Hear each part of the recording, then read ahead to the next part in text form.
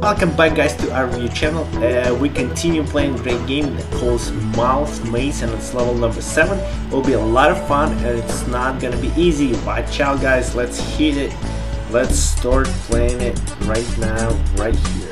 This is the great way to start it and hopefully, yes, the cat didn't see me and he didn't even touch me.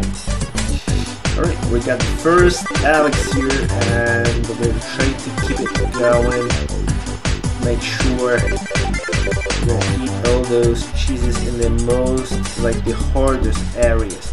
Unfortunately, we lost the first life and um, that's not a good news for us, but uh, I'll tell you what, let's get second elixir here and let's finish that level because there's not much left to finish. Just a few pieces up, up here. Alright, uh, one right there. And right here. That's it guys, level number 7 actually was less complicated le than level number 6. Enjoy it guys, we finished it with 2 stars, I'm sure you can do it better.